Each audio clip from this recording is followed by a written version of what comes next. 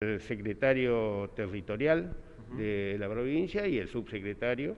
Eh, son dos hombres de, nuestro departamento, uno Santiago Felipov y el otro es de Escalada. Bueno, eh, están visitando todo lo que es la obra, están muy interesados eh, en que esto se, se, lleve adelante lo más pronto posible, porque viene a cumplir una función muy grande dentro de la ciudadanía. Bueno, algo importante, digo, para ustedes, esto de, llegar al fin, digamos, de esta obra, de tenerla concluida.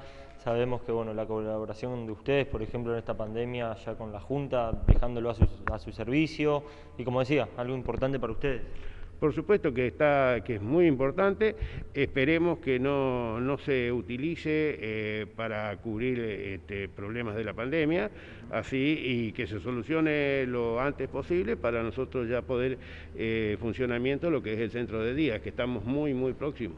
Eh, ¿Cuál es el porcentaje digo, de la obra? ¿Qué tan lejos estamos digamos, de finalizar la obra? Estamos muy cerca para, empezar lo que es el centro de día, estamos muy, muy, muy cerca. Este, en los próximos días se va a empezar ya a instalar todo lo que es la, hacer toda la instalación de gas natural, eh, que tenemos ya casi todos los materiales comprados y, bueno, después va a quedar el, reboque fino, siempre hablando para lo que es el centro de día.